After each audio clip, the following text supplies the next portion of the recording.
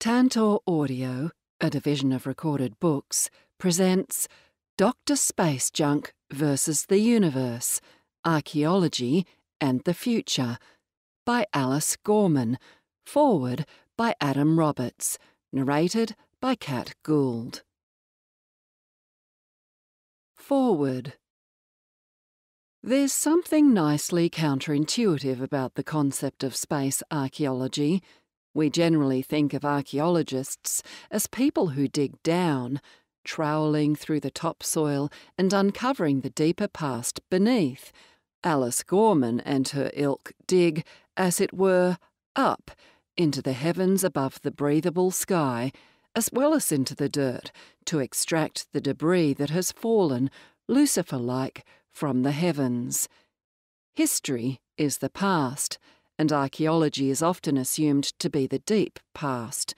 But many people still think of spaceflight as science fiction, and so therefore, to some degree, futuristic. And perhaps most strikingly of all, we think of archaeology as slow, the painstaking scraping away of layers, brushing dust from a half cracked bowl. Space is, whatever else it is, fast we need to be moving at about 40,000 kilometres an hour just to get there, and a body in orbit will be zooming along at somewhere between 24,000 and 32,000 kilometres an hour, depending on the kind of orbit we're talking about. In Alice Gorman's wonderful book, the world is turned upside down. The past is above us rather than below the immensely expensive and cutting edge technologies of Apollo are junk. She takes us on a marvellous odyssey through the space age in terms of what it has left behind, rooting her expertise in her own life experience as well as in the grander narratives of the Cold War struggles and titanic engineering feats. As Dr. Gorman notes, it's wrong to think that the term history only applies to temporal remoteness. Heritage, she says, is about things from the past which are significant to people in the present and which they want to keep into the future. This applies to very recent things like space exploration as much as it does to ancient rock art. History means everything that's been that has any kind of resonance to the present. It situates, speaks to and explains the nature of the present. There are many reasons why historical amnesia is an evil, but a main one is that such forgetfulness allows the unscrupulous to replace history with mythology. Myths make good stories, but because they are not true, they are easily bent to malignant ideological purposes. There is an absolute need to keep the past alive in the present, both to avoid its mistakes and, particularly where the glories of our human space age are concerned, to remind us of what we were once capable. If ever it feels like contemporary humanity is stumbling, or perhaps shuffling backwards, it is salutary to remember that within living memory, we as a species were capable of striding all the way to the moon. It makes the hairs prickle on the back of my neck just to think about it. If I am certain of one thing about that troubled century, the 20th, it is that in 10,000 years, when every other name has been forgotten, every politician and celebrity and artist consigned to the footnotes of specialist historical accounts, Neil Armstrong's name will still be in common currency. One thing space archaeology tells us is that the past is quicker and more immediate than we think it is. The space age sits at the moment in an uncanny valley of memory, too recent to be thought of as history in the ancient Greek or pharaonic Egypt sense of the word, but too far back in time to inspire the younger generation. For a long time, going to the moon was the stuff of the imagined futures of science fiction. Then, in 1969, all sci fi's dreams came suddenly true. And then again, blink or you might miss it, the dreams hurtled backwards at 32,000 kilometres an hour into our collective past. Going to the moon is no longer what we do, it's what our ancestors used to do. An age science fiction predicted would last for thousands of years of human space exploration and colonisation was, in reality, compressed into a few years, packaged away and shut down. That historical moment, once blue shifted by its approach down the speculative timelines, is now red shifted by its rapid retreat from us into posterity. It grows more distant every day. Gorman neither over romanticizes nor dismisses the junk she champions. It can't all be conserved, but most space junk is constantly moving on a spiral that will bring it careering into Earth's atmosphere at speeds that are, literally, meltingly fast. She sanely cites the Burra Charter to do as much as is necessary and as little as possible to retain cultural significance. Every family farm has its machine graveyard and rubbish tip. It's okay to let them decay, to let the wind and the rain take them. Some space junk may pose dangers for future astronauts, as was so vividly portrayed in Alfonso Cuarón's Oscar winning 2013 movie Gravity. But we don't need to destroy everything currently classed as space junk either. Over 95% of all the stuff up there to reduce the risks of collisions from orbital debris. We can do it in a smart way by thinking through all the heritage and environmental issues. This book reminds us that outer space is not impossibly distant, that it's almost close enough to touch, and that it often showers objects down upon us, like the fragment of Skylab she keeps on her desk. As charming as it is expert, as gripping as it is surprising, Dr. Space Junk versus the Universe deftly threads together the cosmic and the personal, the stupendousness of space with the lived experience of human beings down here, from Aboriginal Australians to 21st century city dwellers, encompassing everything from astounding space technology to cake and cocktail recipes. Outer space may be an arena of velocity but this book is a book you'll want to take your time with, to savour rather than to gulp. It's a book that juxtaposes the human and the universal, and that's important because it helps keep vital the great human dream. In the longest terms of our future as a species, the greatest of all of them, that one day we'll retake that step to the moon only this time, we'll keep on going. Adam Roberts. Introduction Looking Up, Looking Down. I'll make my report as if I told a story, for I was taught as a child on my homeworld that truth is a matter of the imagination.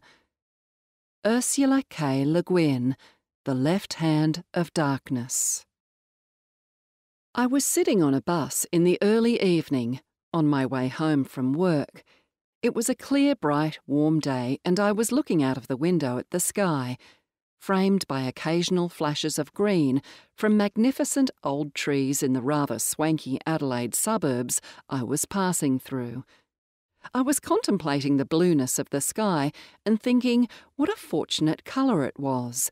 An orange sky, as we might experience on Venus, would feel so much harsher to our moist terrestrial sensibilities. The blue sky is wonderful, but in the day its curved dome prevents us from seeing outwards to the stars, as we can at night. During the day, when we're awake, it's like the lid is on our jar. We're looking down, inwards, at our feet, and not above our heads. When the lid is raised at night, we're often inside, and then asleep until dawn. Even if we are outside, light pollution from cities, towns and industry has obscured so much of what we can see in the night sky. So we're not always conscious of the vasty deeps of the solar system and interstellar space. We don't feel ourselves part of space. So different from fish, I thought to myself. In the water, you'd always be conscious of up, where the pressure was lower, and of the direction of the light as it filtered down towards the sea floor. I imagined myself on the bottom of a shallow sea, looking up at the sky as if it were the surface of the water, the clouds as the underside of white, foamy waves. Thinking myself into this perspective made me feel sort of opened out, expanded. I could feel the presence of space so much more. It was actually a physical sense, as if someone had lifted a heavy weight from my head. I was still moored to the surface, but I could feel the growing lightness above me. It was different from the marvellous lack of gravity that accompanies flying dreams. Earth was definitely still in control here. I just had an awareness of being at the bottom of something much larger, instead of being on the surface of something much denser. What would it be like if this were our natural way of feeling? Our feet rooted in the soil, but our mind's eye always attuned to the heavens, an antenna of flesh and bone. I have to make an effort to feel this openness to the cosmos, but for more than a decade now, I've lived between these two worlds as an archaeologist who investigates space exploration. From walking always with my eyes focused on the ground, reading the traces of the past in the stone tools discarded by people long before I was born, I've taken to looking towards the less visible material traces of a present that bounces back and forth between Earth and space. I'm concerned with the material and social dimensions of space exploration rather than just the technology or the science.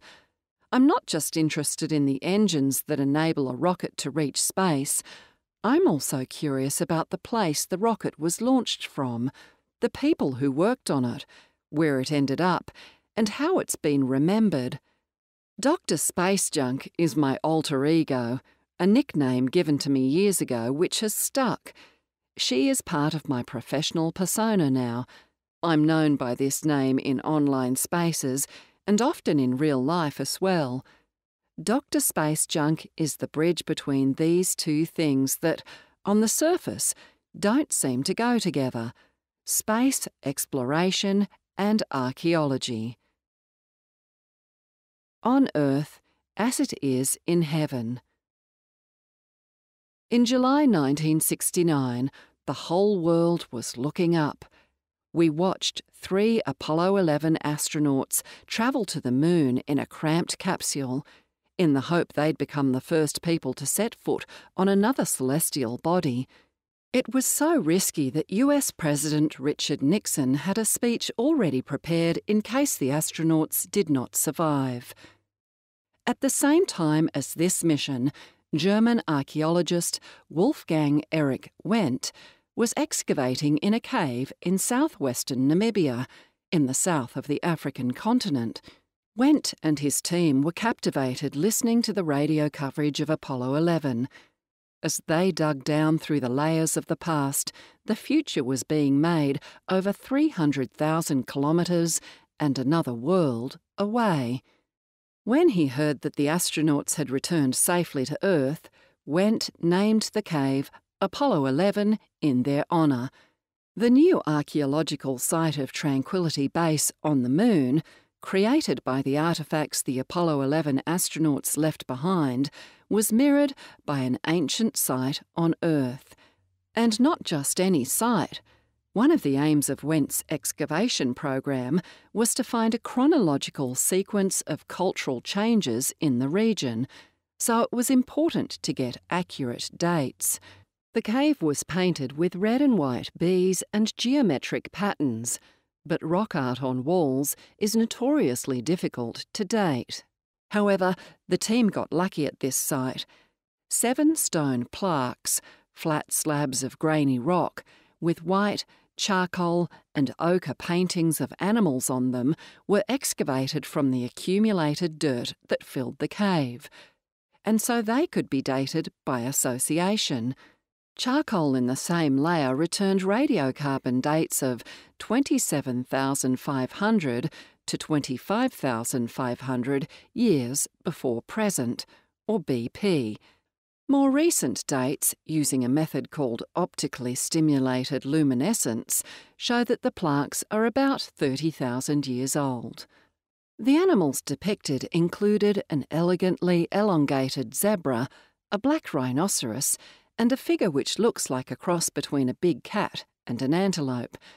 Because of its slightly odd hind legs, some say it is also a therianthrope, a human animal hybrid known in rock art from other parts of the world and associated with rituals and trance states. Earlier geometric and abstract art has since been found, but these plaques are still the oldest figurative art in Africa. The date matters because rock art is not just about the artistic life of ancient people, it's an indication of symbolic behaviour, a prerequisite for language, art, and spiritual beliefs. It's part of a suite of characteristics known as behavioural modernity, which is argued to be the foundation of contemporary human society and technology. The suite includes making cultural innovations, complex technologies, advanced problem solving, and long range planning abilities. It's pretty clear that behavioural modernity existed by the time people were occupying the Apollo 11 cave at 30,000 years ago. The question is, how long before this did it first emerge? To answer that, we need to find the earliest archaeological evidence of using symbols to communicate, as well as evidence of thinking about the future. What would this archaeological evidence look like? Skeletal remains, particularly those showing changes in brain structure imprinted on the inside of the skull, and bones in the palate and throat, which suggest the range of sounds that could have been made, tell us that language is physically possible, but not that it occurred. If you change or modify your body to communicate something to others, as in tattoo or scarification, it's very symbolic, but soft tissue seldom survives the ravages of time. Beads and personal ornaments made out of stone, bone, shell, and teeth may survive in the archaeological record, however, and they also show an intent to communicate, whether that is status, identity, or mood. Standardised artefacts distributed over large areas, rather than ad hoc ones made randomly in the moment, indicate that people communicated through the style of manufactured objects. These artefacts might be a type of stone tool, such as the pointed, flaked Acheulean hand axe, or something like the Ice Age Venus figurines found across Europe. Technology that requires many steps over a period of time indicates planning for the future as well as the ability to remember the past. Such technology might involve securing the raw materials to make an artifact over days, weeks, or months. The right piece of wood for a handle, tree resin, ochre, and animal fat to make an adhesive, stone to make a sharp flake just the right size and shape, a fire to melt and mix the resin ingredients. Finally, the stone flake is hafted onto its handle and ready to use for when you need it, a future certainty which has not yet occurred. The art in the Apollo 11 cave in Namibia is symbolic. The painted animals are not symbols of the living ones, but represent a belief system where painting them had some impact in the world. They also relate to another cultural process with very modern resonances. Cognitive scientist Andy Clark calls humans natural born cyborgs, arguing that human life has always combined biological and technological components. The plaques could be interpreted as a form of memory storage outside the brain. This is memory made of stone, a touchstone perhaps to recall, well, we don't know what. The software inside the brain is gone, and there's only the hardware left in the form of artifacts and bones. It used to be thought that only Homo sapiens displayed behavioural modernity, but now the picture is not so clear. Archaeological research reveals more and more about the complexity of Neanderthal life and new hominin species like the hobbit in Indonesia and the Denisovans in Siberia have disrupted the old, established human lineages. It's no longer a straight evolutionary path from primate ancestor to modern human, as you see it represented in textbooks and on t shirts, where the knuckle walking ape gradually bends upright, becomes bipedal, and morphs into a striding human, usually male. Sometimes an astronaut is placed at the end of the sequence. The astronaut is perhaps the ultimate cyborg a body interfaced with technology, whether inside a suit or a space station, and constantly monitored to stay in the state of equilibrium which keeps it alive. What Wendt's team had found was, at the time, momentous. Here was the earliest evidence that Homo sapiens in Namibia were thinking symbolically as Wendt listened to the broadcast of Neil Armstrong setting his foot down on the dusty lunar surface, was he also thinking about human evolution and the stage that space exploration represented? Perhaps he pondered how the symbols of the Apollo lunar landing site compared to the stone plaques. The landing module, which was left behind on the lunar surface, was named the Eagle a national emblem of the US. The command module, which remained in orbit around the Moon with one astronaut on board during the mission, was called Columbia, after the cannon Jules Verne used to launch his fictional moon rocket in 1865. The name also alluded to the voyage of Christopher Columbus to the Americas in 1492 considered a foundational act in the establishment of the US as a nation. The most obvious symbolic artefact was the US flag planted in lunar soil, a well known metaphor and cliche of colonisation. The terrestrial Apollo 11 site was located in the traditional country of the Nama people they were the victims of what has been called the first genocide of the 20th century, when they rebelled against German colonial rule in Namibia.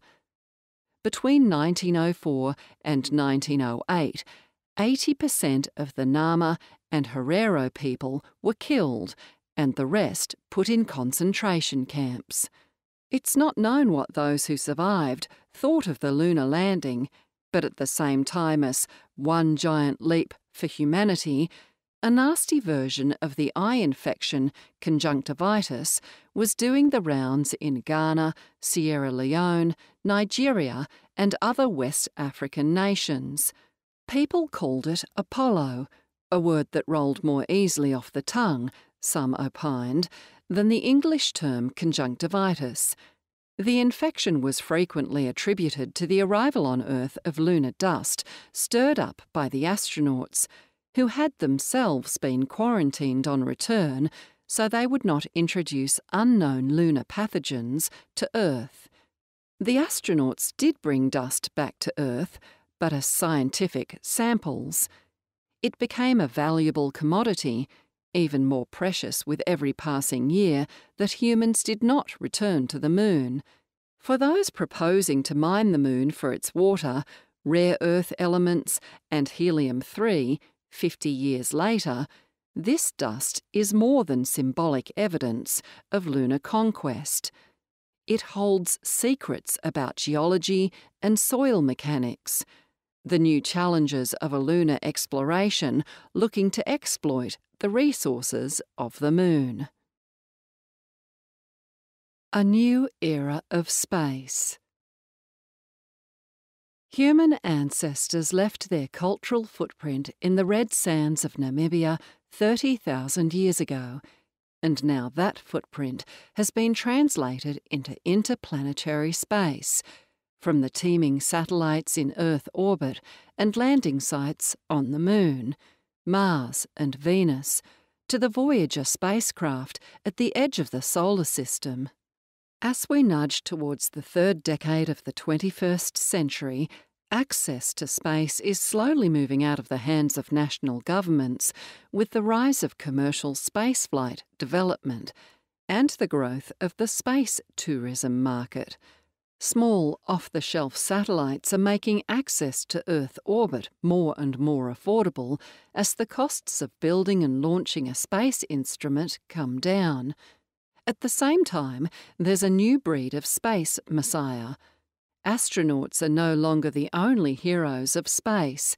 Instead, cults are forming around extremely wealthy entrepreneurs like Elon Musk, Jeff Bezos, and Richard Branson who are developing commercial space transport systems for tourists and colonists.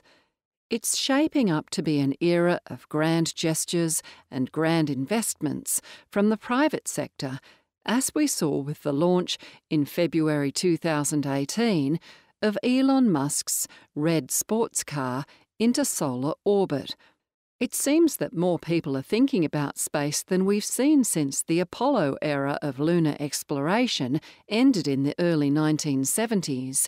Suddenly, space is sexy again. Well, perhaps not so sudden. What is happening now has been building up for more than a decade.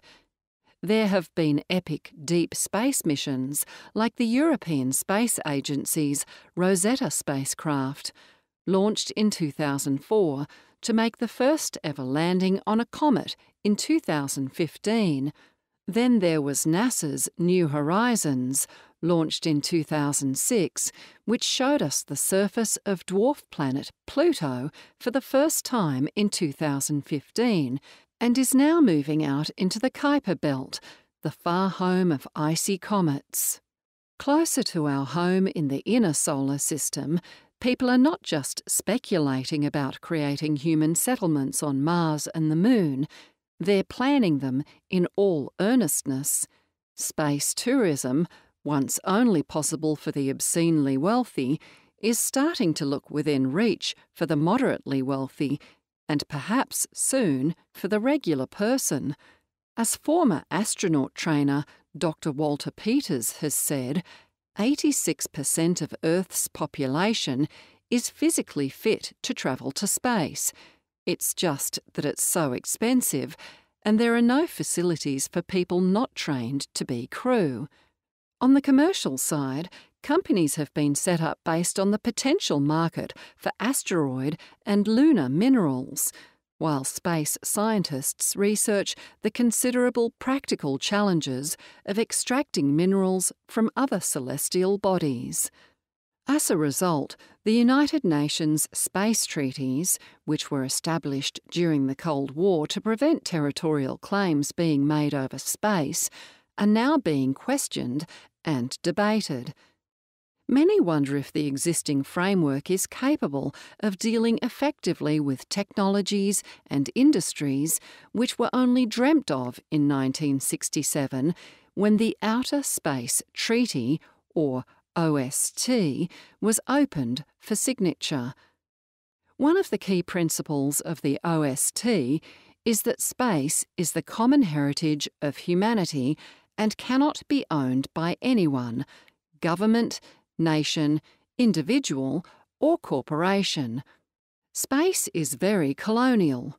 We talk of the conquest of space, the high frontier, or the final frontier, colonizing other planets, and the innate urge of human beings to explore, often without thinking about it. It's such a strong master narrative. Instead of considering the treaty to be outdated, we might equally think of it as a radical statement of equality and justice, and one we need more than ever. This is a new version of an old story precipitated by the Cold War space race, when the US and the USSR competed to be first in space. It's really about who gets to imprint space with meaning. Sure, it's also about technology, science, and industry, and taking humanity to the stars. But at the end of the day, What's really at stake is who gets to control the narrative of space. The Cold War narrative, put very crudely, was about capitalism versus communism. Space is no less an ideological battleground today, but now it's about extreme late capitalism versus digital democracy, or private good versus public good, or military versus civilian we have a chance to make a new world beyond this world, but it will be the same old world all over again if we're not paying attention to the narrative. It won't be different if it's supporting the same terrestrial power structures as before. It's really about how we connect the past with the future in space. And for that, understanding heritage is essential. Dr. Space Junk's Tour of the Solar System. Heritage is about things from the past which are significant to people in the present and which they want to keep into the future. This applies to very recent things like space exploration as much as it does to ancient rock art. I used to be a heritage consultant working with Aboriginal communities in Australia. It's natural for me to ask different kinds of questions about the history and impacts of space than those that might be obvious to an aerospace engineer, for example. Space narratives usually leave out Indigenous people and often non spacefaring nations, too, which is a large chunk of the world. We can't afford to do that any longer not if we're truly committed to space being for all humanity. I'm an insider in the space world. I no longer get strange looks from people wondering what the hell an archaeologist is doing here. I'm not looking in from the outside and being critical. This is my community too, and I want it to be the best it can be. We could look at it another way from our vantage point of this decade in the 21st century. From the origins of the V 2 rocket in the Second World War until the end of the Cold War in 1991, space exploration was driven by conflict and national prestige. We've had 60 years of space culture rooted in war and only 30 years of space culture driven, on the surface at least, by peace. Despite having had a UN treaty on the peaceful uses of outer space since 1967, you could say we haven't yet learnt how to be peaceful in outer space. This means the archaeology of space is no optional luxury, but a necessity.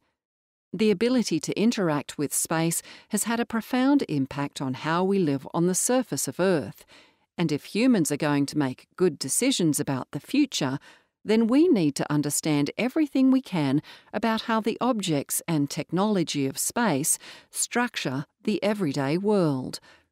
For an archaeologist, this technology is a window into the worldview that produced it, not just while it was in use, but after it was discarded or abandoned as well.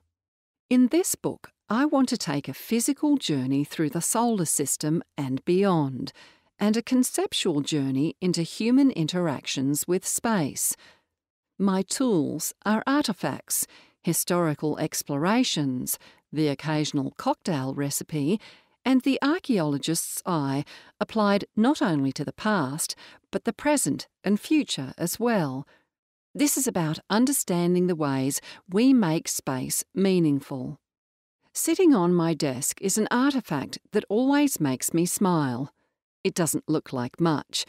It's a narrow sliver of blonde bamboo textured material, about 10 centimetres long and 1 centimetre wide.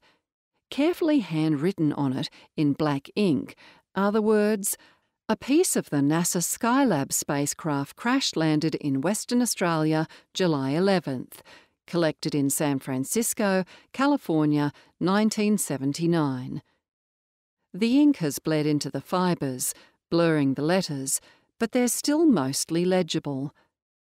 Skylab was the first US space station, launched into low Earth orbit in 1973. Astronauts lived in it off and on, for 168 days. They ate frozen lobster Newburg and made a Christmas tree out of empty food cans.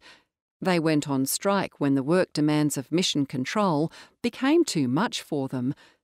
They looked after a school experiment with two little spiders named Arabella and Anita. In 1979, while Skylab was empty, its orbit became unstable, and the world watched anxiously for weeks, wondering where it would crash and what would happen when it did. Most of the space station burnt in a spectacular fireworks display over Western Australia, but the more robust components fell to earth over the towns of Balladonia, Kalgoorlie, and Esperance. The pieces immediately became collectible souvenirs of an experience most of us will never have. My fragment is part of the fuel tank insulation. It was taken to San Francisco when the San Francisco Examiner was offering a $10,000 prize to the first person who delivered a piece to their offices. There, it was further fragmented and divided up. I'm not sure, but this may be the same charred fuel tank that was displayed on the stage of the 1979 Miss Universe pageant held in Perth around the same time as Skylab's spectacular re entry. When I touch it, I think of the journey it's had and all the hands it's passed through. From Skylab's assembly at the Marshall Space Flight Center in Huntsville, Alabama, launch from Cape Canaveral in Florida into space to Western Australia, then on to California, where a space fan acquired it and kindly gave it to me back in Australia nearly 40 years later. This bit of space detritus has been treasured as a precious talisman in much the same way as a rabbit's foot or a piece of the Berlin Wall. It's been on Earth far longer than it's been in space, but somehow the scent of space still clings to it. This piece has found repose on my desk among other space souvenirs, like the Mulga Wood model rocket from Woomera and the grey metal moon globe marked with the landing sites of early US and Soviet probes. Other fragments rest quietly in the vastness of the Western Australian landscape slowly being buried by wind-blown dust, becoming an archaeological site which combines earth and space into a seamless whole. Chapter 1 How I Became a Space Archaeologist. And I am as far as an infinite alphabet, made from yellow stars and ice and you are as far as the nails of the dead man, as far as a sailor can see at midnight, when he's drunk and the moon is an empty cup. And I am as far as invention, and you are as far as memory. Susan Stewart, Yellow Stars and Ice. As a child growing up on a wheat and sheep farm in the southern Riverina region of New South Wales, I was obsessed with the stars. The only other lights visible at night came from inside our own house. I'd go outside and look up and wonder how the universe came to be, how to attain those other worlds. Why did we not have the technology to go and visit them? I longed desperately for the future and yet the past was equally fascinating. Around me, on our property, were the traces of a multi layered occupation. Aboriginal grinding stones now used as doorstops, trees with canoe scars standing in the middle of sheep pasture, abandoned wells dug by Chinese labourers, the farm machinery graveyard, the old pisé, rammed earth, homestead, now dissolving slowly back into the soil. Only in later years have some of the old farmers quietly mentioned to me the Aboriginal burial sites found throughout the region's sandhills. In a long, circuitous journey, these two parts of my life came back together when I decided to apply archaeological principles to the stuff that humans have sent beyond Earth, the stuff we now call space junk. Out back and out of this world. Our farm was not all livestock and crops. We also kept pigs, peacocks, and racehorses. Racing was a Gorman family tradition, although my father was not as serious about it as some of my cousins. The cultural effects of the space race infiltrated even the world of country horse racing. During my childhood, our champion horse was called Guyong. It would be nice if Guyong, meaning camp, were a Wiradjuri word chosen to honour the traditional owners of our land but the more likely truth is that my father found it in one of the many published vocabularies of Aboriginal words that were in circulation at the time. A popular one was by H. M. Cooper, published in 1948 as Australian Aboriginal Words and Their Meanings. Generally, the words were stripped of context, the differences between distinct languages elided as if Aboriginal culture was identical across the entire continent. Guyong, however, was not the original choice of name. She was born in 1957, the same year that Laika, the dog, went into orbit on the USSR satellite Sputnik 2, the second ever to successfully reach Earth orbit. My father wanted to call the foal Little Lemon, the English translation of one of Laika's nicknames. It seems an unusual choice for a farmer focused on wresting a livelihood from the earth with the ever present threat of drought. Perhaps the farm boy who rode a horse to school until he was 11 also dreamt of travelling to the stars. Too late to ask him now. Laika's launch provoked worldwide protests about the iniquity of sending a non consenting creature to die in space, as indeed she did. And this gives me a brief insight into my father's thought process. As with all farms, we had an array of dogs sheep dogs, cattle dogs, hunting dogs, house dogs. I think Dad felt a bond with this faraway Soviet space dog and wanted to honour her in his own version of the space race. The Board of Racing Australia, however, had other ideas. All horses have to be registered, and to avoid duplication of names, the board has to approve each one. Dad's application to call the new horse Little Lemon was rejected. He was very annoyed, but it seems that no one else had applied for the name, was this Cold War paranoia? After all, this was the country whose Prime Minister, Robert Menzies, refused to congratulate the USSR on Yuri Gagarin's first successful human spaceflight in 1961. Such politics didn't bother the Jockey Club of New York, who were happy to approve Sputnik, the first satellite launched in 1957 as an official racehorse name. Funnily enough, Guyong still had a space connection. Cooper's vocabulary was used to name streets in the space township of Woomera in South Australia when it was laid out in 1947 as a residential village for the employees of one of the first rocket ranges in the world. Guyong Street is still there today.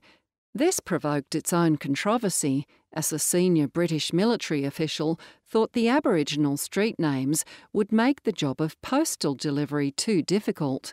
He proposed using the American style numeric system instead, for example, Fifth Street, and so on. The Aussies were having none of it, and he was overruled. I didn't know about Guyong the horse's brush with space until many years later, but I remember going outside with Dad to gaze up at the night sky. The Milky Way arched over our house like a starry fleece flung in the dark light of the shearing shed. How could I not become fascinated with astronomy? There were constellation charts on the bottom shelf of the glass fronted bookcase in the sitting room, and I learnt to locate and name them.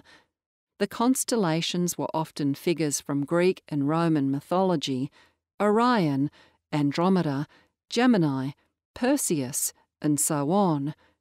I think the charts might have come from Weekly Times special offers, which was how we also acquired a Reader's Digest atlas. The Weekly Times is a newspaper devoted to rural issues. The Moon in the Living Room. I was one of 600 million people across the world who watched as Neil Armstrong set foot on the moon in 1969. I was five years old, in my first year of school. It was a tiny two teacher school in the nearby hamlet of Savernake. I say hamlet because, unusually for an Australian town, Savernake didn't even have a pub. It had burnt down in the 1930s and was never rebuilt.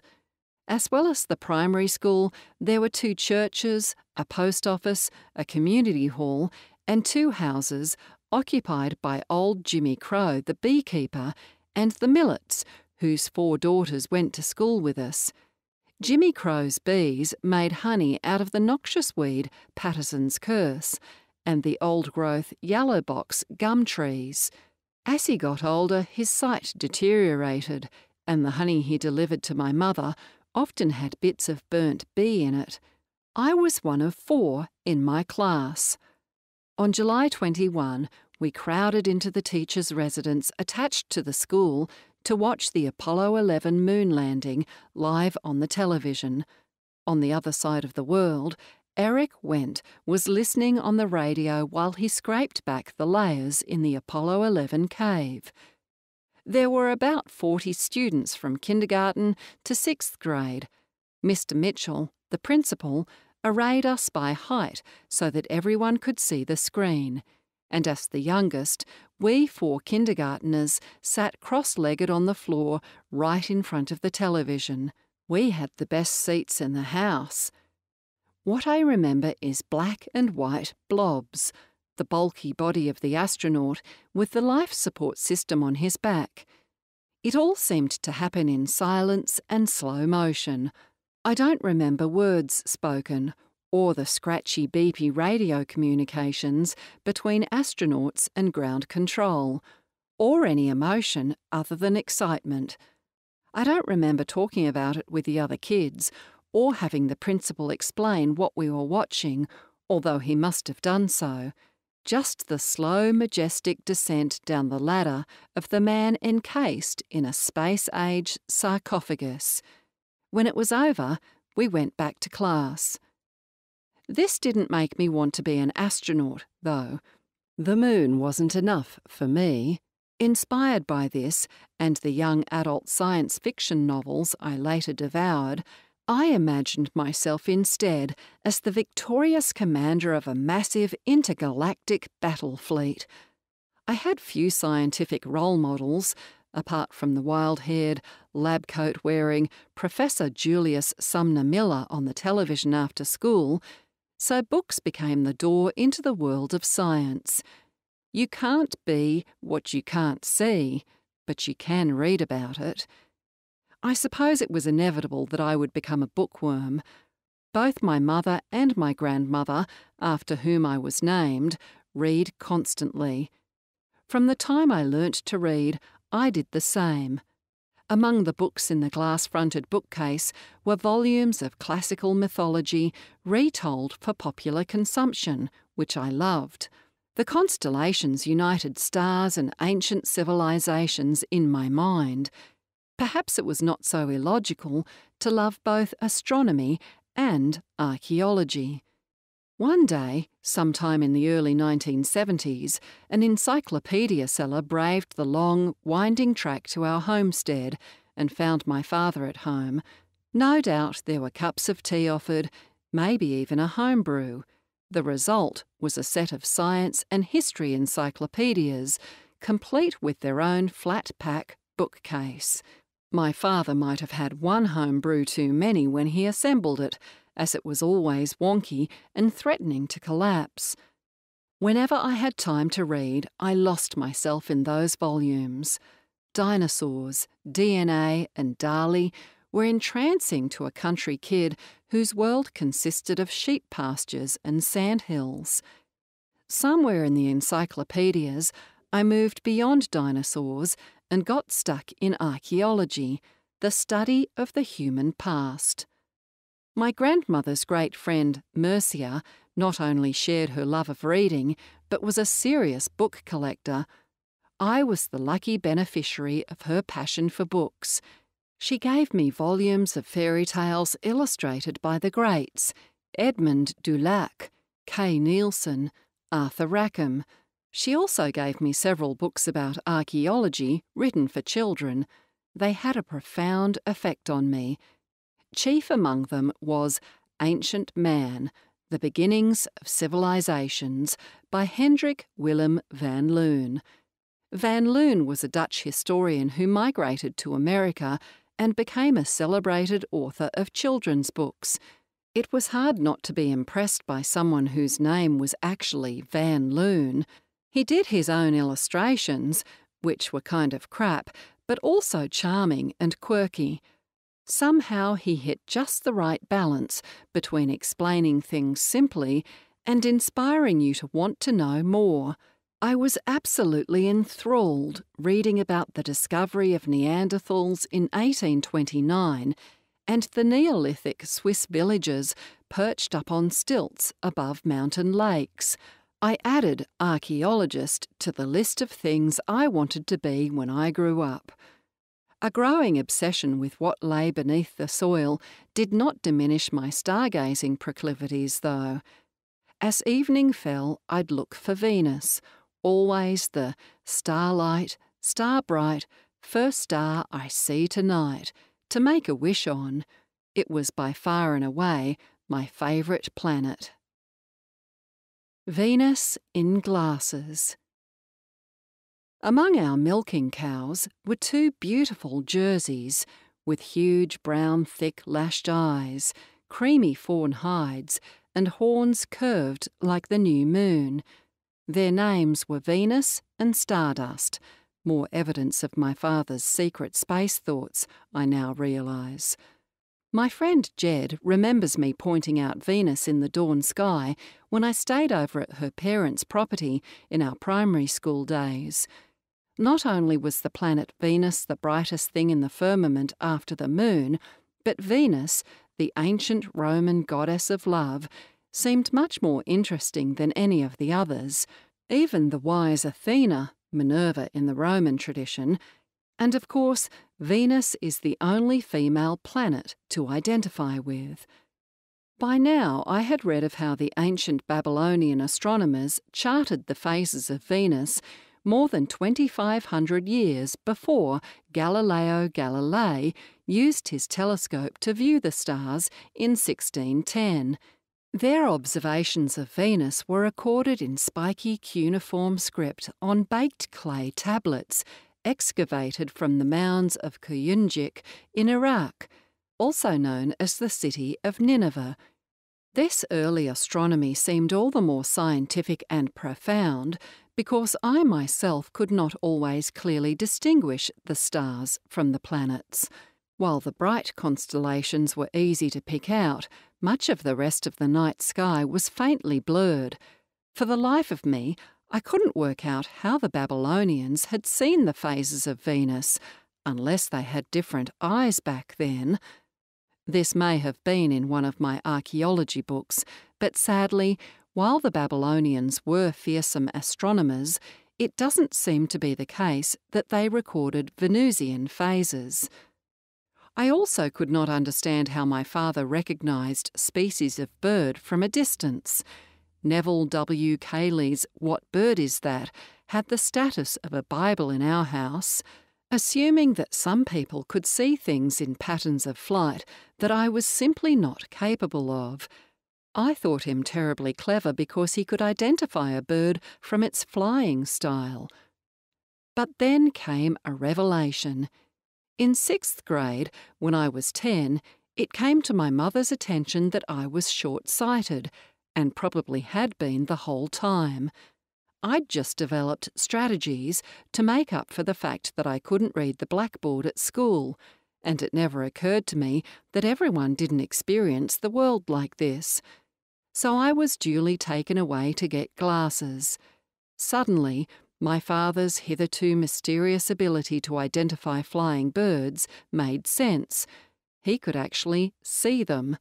It was now much easier to tell stars and planets apart, as the latter were no longer twinkling too, and I could at last see why people talked of the rabbit on the moon. However, this new sight was both a blessing and a curse. Glasses cemented a certain reputation captured by American writer Dorothy Parker's famous aphorism Men seldom make passes at girls who wear glasses. Being seen as smart was antithetical to being seen as desirable, the pinnacle of a woman's achievement. Athena was taking ascendancy over Aphrodite as the contradictions and constraints of being a teenage girl were ushered in with high school life. Archaeology or astrophysics. At primary school, I was a very literate child with a voracious appetite for fiction. Despite my love of science, I soon picked up the message that girls were supposed to be good at words and boys good at numbers. Girls also did sewing, while boys did woodwork, and girls were not allowed to compete in certain athletic events, such as the 400 metre run and the triple jump.